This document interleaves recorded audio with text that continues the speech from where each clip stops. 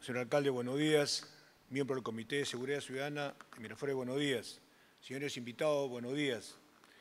El Área 1, del 6 al 19 de septiembre, ha realizado cuatro charlas de orientación y capacitación. El martes 10 de septiembre se dio charlas al Colegio,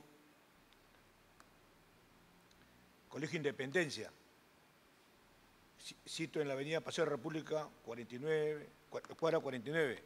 Se contó con la asistencia de 50 alumnos.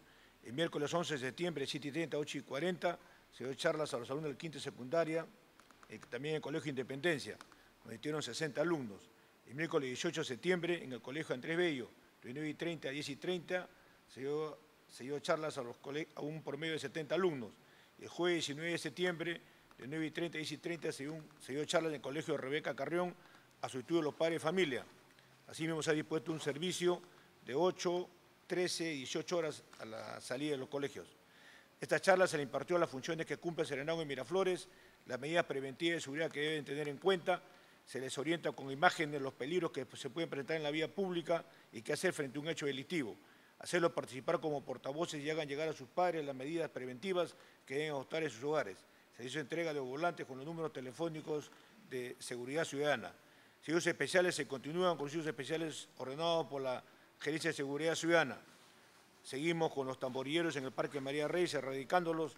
El domingo 15 de septiembre se radicó a 120 tamborilleros. En el módulo Gutiérrez se sigue cumpliendo el servicio a las 24 horas. En el módulo Santa Cruz se han atendido 13 atenciones esta semana. Damos brindando seguridad en los malecones. Puente del a cargo de la Brigada Canina 16 a 22 horas. El domingo 15 de septiembre se llevó a cabo en el programa Estando mi mascota en el Parque Francisco de Sela y Estrando 80 canes, donde existieron 120 vecinos. Se sigue cuidando el servicio en la playa de jurisdicción las 24 horas. Operativos. En la presente semana hemos realizado diversos operativos. Hemos intervenido con apoyo de la Policía Nacional 664 motos, de los cuales se han puesto 55 motos a disposición de la comisaría, 27 por no contar SOA, 12 por no tener licencia, 3 por no tener tarjeta de propiedad, 9 por licencia de conducir falsa y 4 con orden de captura SAP. Asimismo, quiero indicar al comité que el día de ayer el Escuadrón Sur nos está apoyando en estos operativos. Trabajadores de construcción civil, hemos intervenido a 19 obras de un total de 697 obreros con apoyo de la policía, no registrando ninguna novedad. Comercio informal, hemos intervenido 42 ambulantes en tres operativos con el apoyo de fiscalización.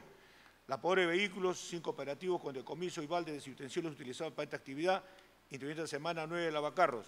Recicladores, hemos hecho dos operativos con respectivo decomiso y reciclaje y puestas a disposición de, los camiones de compactadores. Patrullaje seguimos, interviniendo el patrullaje con San Isidro. Taxistas, mitad de la vía pública se ha orientado a 100 taxistas. Intervenciones restantes no hemos tenido. Encargo, se ha radicado la presencia de gente de mal vivir que pernoctan por la bajada de San Martín y se ha visitado las clínicas y centros de salud del área 1 con la finalidad de orientar al personal sobre las medidas preventivas de seguridad que deben adoptar y prevenir que sean víctimas de robos. Es todo, doctor.